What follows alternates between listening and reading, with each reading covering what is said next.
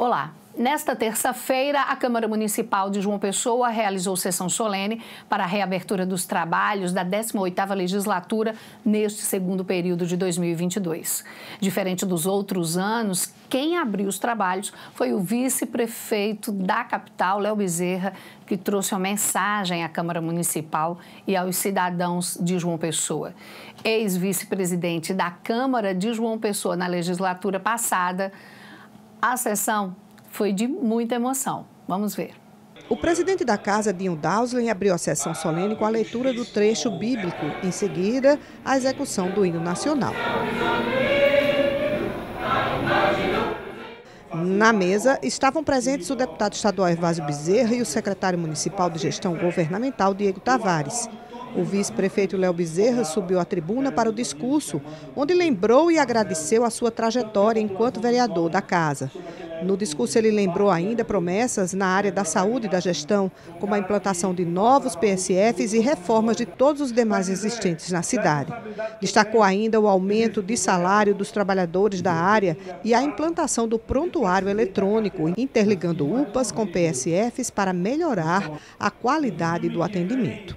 O vice-prefeito também destacou os projetos dos parques novos da cidade, a entrega dos tablets para agentes de saúde da capital e se emocionou relembrando quanto a casa o ajudou na missão que hoje exerce na cidade. O que eu posso adiantar para vocês é o carinho, a determinação que nós temos, tanto eu como o prefeito Cícero Lucena, pela abertura que ele me dá e dizer que estamos realizando tudo aquilo que nós prometemos, que firmamos um compromisso na época da eleição e fazer um mandato humano, um mandato justo, voltado para a população de João Pessoa.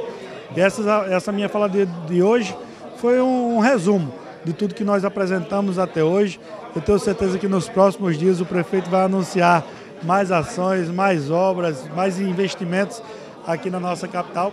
E eu fico muito feliz de poder representá-lo aqui hoje, no dia do meu aniversário, esse presente, mais um presente que o prefeito Cícero me dá todos sabem do carinho, da parceria, do respeito que nós temos mútuo, tanto ele quanto a mim, quanto eu tenho a ele.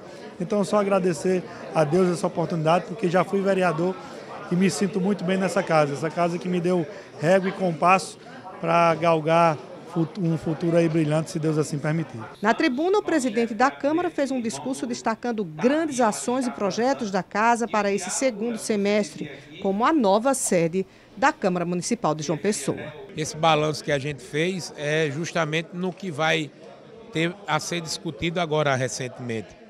É a construção da nova sede, que estamos em fase já de licitação desta obra, que eu acho que vai ser um ganho muito grande e importante para esta casa. É, o plano diretor que está para chegar nesta casa nesses dias e ser discutido também, que é bastante importante e vai beneficiar muito a população as emendas impositivas da Lua que vai chegar nesta casa para ser debatido e discutido.